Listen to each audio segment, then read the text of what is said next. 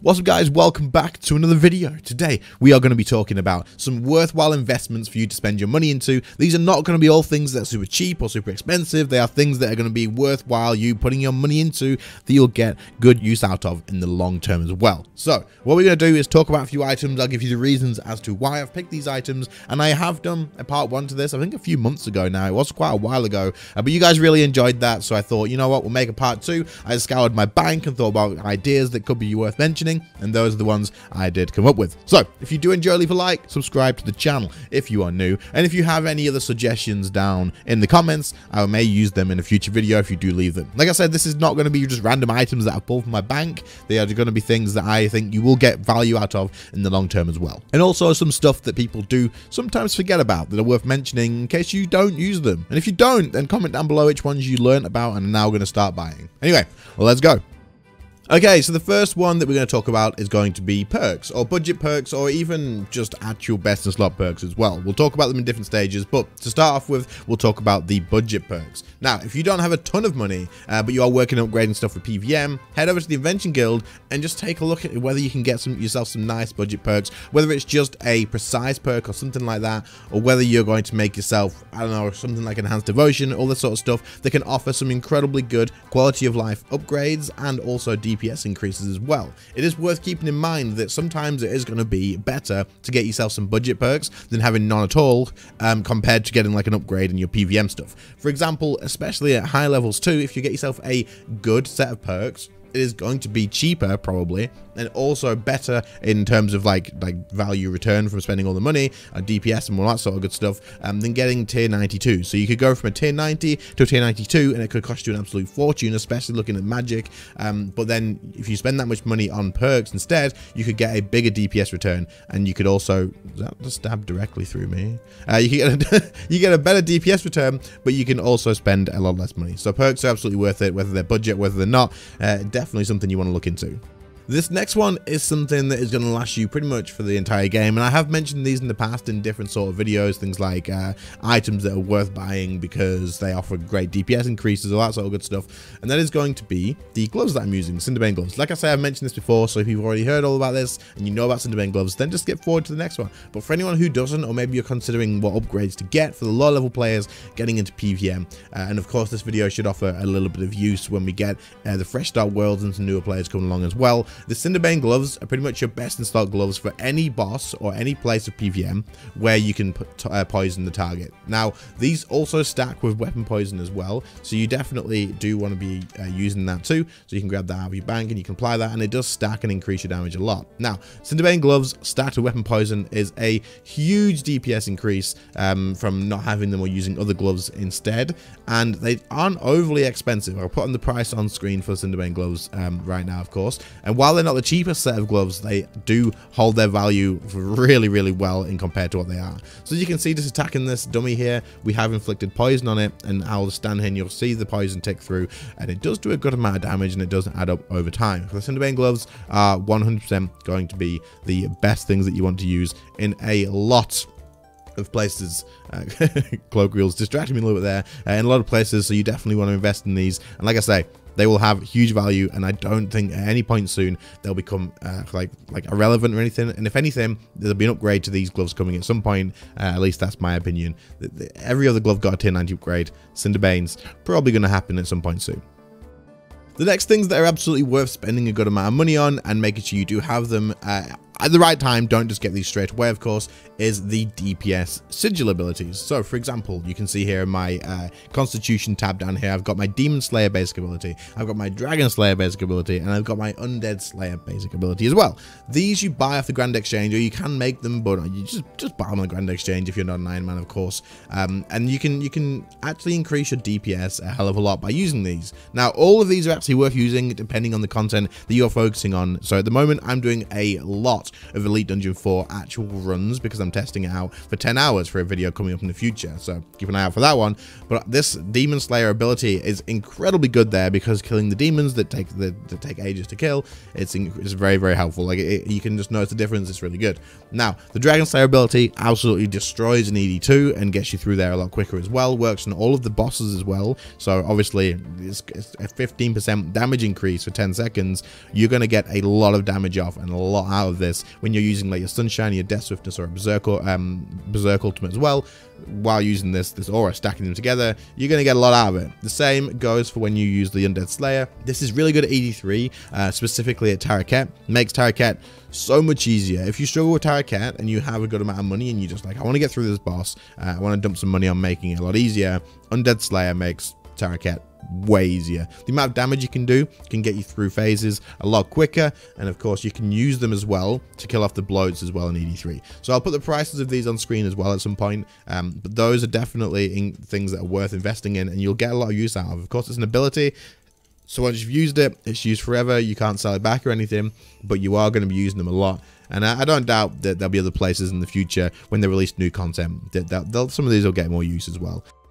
So this next amazing way to spend your money, I definitely teleported to the wrong place. This next amazing way to spend your money um, is is one that was given to me in a recent video not too long ago, but it was given for community questions and it was more focused on saving money. But this goes the same way and I figured it was worth mentioning as that video didn't get as many views as this one probably will. And of course it's going to be different audience and whatnot, so we're going to cover them both. So something you can do is spend your money on buying PVM supplies on the double experience weekend. So for example, if I come here to my PVMs uh, tab here, you can see all my stuff's running quite low. I need more Saradomin brews. Um, I can get, I need some more like adrenaline potions and whatnot, and plenty more runes and all that sort of good stuff. My incense sticks are all running out as well. Now, a good time to buy all this sort of stuff and stock up big time if you have a good amount of money to be held in the in any way, then you can stock up during or just after double XP. The prices of this stuff drops big time during double XP because people are crafting it all from the base things and then selling them off really, really cheap to grab their money back quickly. So you come to the Grand Exchange during that time to start buying all this sort of stuff up. Like um, I said, I need some Saradomin brews. Um, what you can look at this is if you, you, buy these up now, they might be like 5% less. And that way in the future, when you buy more of them, or, or, uh, that way, rather than having to wait for the price to go back up again, you save yourself a little bit of money. It might only be like, like 5 to 10 mil per stack. And obviously the more you buy, the more you save. So kind of rich get richer sort of thing. But if you buy enough to last you the months between the double XPs, stack them in here, get through them. And then when you get back to double XP, you buy them again, you are always going to be saving money. So this is definitely something that is worthwhile like spending your money on because if you can do it at this point, you're making everything a lot cheaper and you're always going to save money in the long run. So thank you again to whoever shared this in the, the last community questions video. Um, this is great advice and I'm definitely going to do this myself. So there you go. The next great thing to spend all your money on is absolutely going to be cosmetic tokens. These are... I'm joking. They're not. Don't you don't need to buy these. This is, this is just a joke. The next thing that I want to actually mention is because something that I noticed someone wasn't using recently, and I also had someone tell me on Discord that they didn't really use them because they didn't know if they were worth it, and that is going to be the Ripper Demon Scrolls. People don't use these still. Still. These are expensive. These can be quite expensive, but uh, for 342k for 100 scrolls. The amount of DPS increase you're going to get out of a Ripper Demon for using these scrolls is absolutely unreal. Like, it, it, genuinely is. You want to be using these all the time if you're going to PVM to do bosses and stuff. If you're doing Slayer, or you're doing like a really low level boss where you don't need the extra DPS, then sure, you don't need to do that. Of course, use your common sense with it. You don't always have to do it if the, if the cost is going to outweigh the, the, the, the value for it. But in most places like the Arch-Glacor or even God Wars Dungeon 2, I would recommend using these. They're going to help out a lot. You're going to get a lot more kills per hour from using them. A regular Ripper Demon on its own can still do a good amount of damage, don't get me wrong. Adding these scrolls to it and then coming down here to set the auto fire rate here and set that to 1 is going to make it so it uses your Ripper Demon scrolls over and over and over again as soon as it can with the, the special move points. This is going to increase your DPS in PVM a lot. If you don't use these, then you're going to notice a massive difference straight away. One other thing I want to tie into this is these spiritual prayer potions as well. These are absolutely worth it too if you're pushing higher level bosses and you want to get faster kill times, or even if you're trying to hit like a DPS cap, like a like a DPS mechanic, for example, you want to get through and you're, you're struggling a little bit. These will carry you big time. The spiritual prayer potions also restore your summoning points as well as your prayer points, uh, summoning special attack points, meaning when your familiars used a special attack, if I run to War's Retreat right now, you can drink one of those and it's going to increase your points for it to do it again.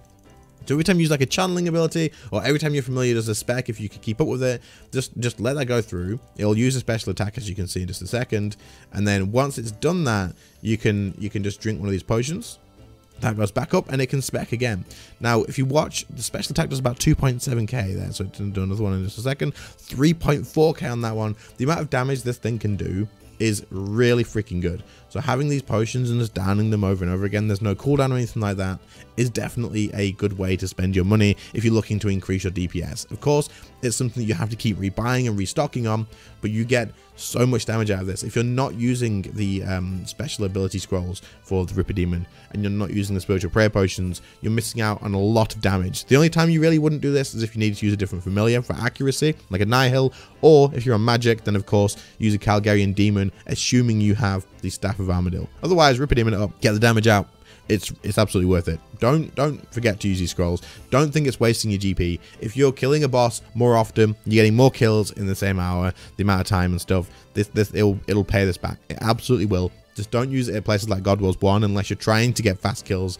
Um, but otherwise, it, it, make sure you use them, man. They're, they're so freaking good. The final thing that I'm going to mention about spending your money on that is really good and is going to give you long time value is going to be getting Elite Tectonic instead of getting regular Tectonic. Now, you can definitely spend your time signing something like Virtus Armor if you want to use the, the Power Armor, or you could even just use Ganodermic, in all honesty, and use Animate Dead if that's what you want to do, uh, and just get yourself the Elite Tectonic. Because the reason being is repairing an Elite Tectonic set, while it is a lot more expensive to buy in the first place, repairing it is about 75 million GP to fully repair the set. That's only 75 mil, 12 patches to repair a full set of Elite Tectonic. Now, to buy a full set of regular Tectonic armor, you are looking at way, if I can spell properly, uh, you're looking at way more than that for a regular set just to replace it. Now this stuff degrades to dust of course, so it's 56 mil for the top and 38 mil for the bottom and then uh, 18, 19 mil for the, for the mask. This is per set every time it runs out. So it is actually way more expensive to upkeep the actual regular set of Tectonic than it is to repair the, the Elite Tectonic. So if you can work on getting this first, you are going to save yourself a lot of money in the long run because once this has been used, you can't sell it back. You can't upgrade this to Elite Tectonic and uh, once it's been used as well. Um, the, the charge drains down. You can't do that. And, and so that, that set kind of just sits in your bank. You can disassemble it for perks and stuff but overall, it is going to save you money in the long run to get the regular Tectonic because this is one of the, the sets that's absolutely worth getting elite elite version with. Whereas with range, it's not really worth getting the elite range set because the Serenic set because the regular is so cheap to buy uh, and the the other one is ridiculously expensive the, the, the, the, stuff you get out of it doesn't make sense. But it makes sense to get the Elite Tectonic uh, Mage set because the, the, the, upkeep is just cheaper. So in the, in the long run, you're going to be saving money anyway. So getting that upgrade and it being cheaper for you to actually get uh, is absolutely worth the extra. Of course, you could probably buy yourself a regular set of Tectonic, seeing as the Elite version is super duper expensive buy a regular set and then use that to make the money for the elite set uh, but just don't keep buying over and over again the normal sets. Because by the time you've done that like three or four times you could have just bought yourself the elite set anyway and uh, you, you still need to get that. So definitely keep that in mind and personally I would probably use Virtus until you get to that point or something along those lines anyway um, and then you can go ahead and upgrade straight to elite. I think most a lot of people do this but um, just wanted to mention it as it's definitely something that is worth knowing about and there we go, that brings us to the end of this video and things that are definitely worthwhile spending your money on. Amazing things to spend your money on. Anyway, if you did find this useful, uh, do leave a like on the video. Subscribe to the channel if you are new around here. Channel members, your names are on screen right now, of course. As always, if anyone is interested in joining the channel membership, you do get videos early and uh, there's some other perks as well, like Discord roles and all that sort of good stuff. And also supports the channel a hell of a lot. So thank you to anybody who does. Other than that, Thank you all so much for watching. I really, really do appreciate it. I apologize about my voice if it does sound a bit weird. Um, my, my cough is still here. Well, hopefully it's it's cleared up, ready for like the next video or tomorrow or something. And we get back to streaming soon too. But other than that, thank you all so much for watching. I appreciate it and I'll catch you all in the next one. See you later, guys.